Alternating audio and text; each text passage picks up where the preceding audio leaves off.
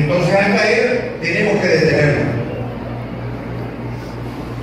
Y esa es la parte del cambio de cultura que tenemos que asumir nosotros los hondureños. Y por eso he venido yo aquí, porque siento que no es tan sencillo como decir, miren, pónganse a construir cosechadora de agua, cuiden allá los cerros donde nace el agua, hay que volver a reforestar ahí, a los lados de los cauces de los ríos también. Yo sé que no es tan sencillo como eso. Por eso hoy quiero mostrarles cuestioncitas sencillas y hablarles también de otros grandes proyectos que el país necesita.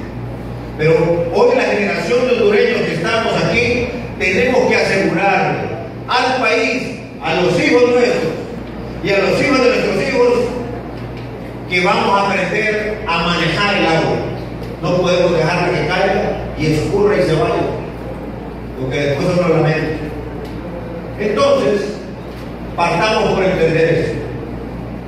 Honduras debe tener un gran plan maestro de manejo del agua.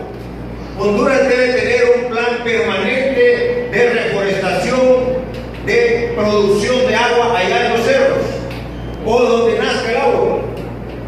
Y Honduras debe tener una claridad de cuáles son las propiedades de sus suelos para que sepamos qué fertilizante se necesita.